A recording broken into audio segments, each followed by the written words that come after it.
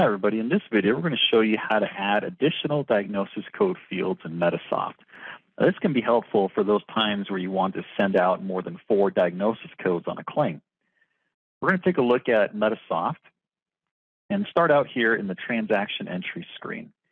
As you can see, we have four diagnosis code columns.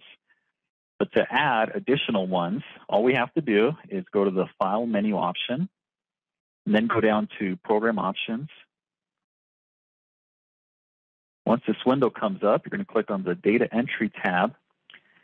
And I was messing with this field earlier, but we're going to go ahead and change this to 10 because we need to close out of transaction entry, reopen it up again, and then we'll see those additional columns show up. Let's go ahead and try that. So save it, and close out of transaction entry, open it back up again, and now you see all those extra columns showing there, including the diagnosis pointers where you have up to 10 now. So you can change that number in program options to anything up to 12. That's the maximum. Another, another thing that you can do here in, with these columns is you can modify the name or the label of it.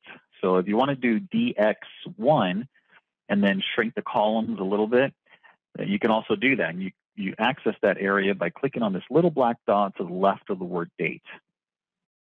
As soon as you click on that, oh, we got first select the patient. Now we can click on that little black dot. It brings up the grid columns window. From here, you can click on underneath the caption any of these labels. So for Diag1, I can switch this to DX1. Same thing for Diag2, DX2. We'll just do those two as an example and then click OK. And then you'll see the columns relabel to DX1, DX2, and you can do the same thing for actually any of these other columns that are here. And then from there, you can shrink the column a little bit by clicking in between those columns.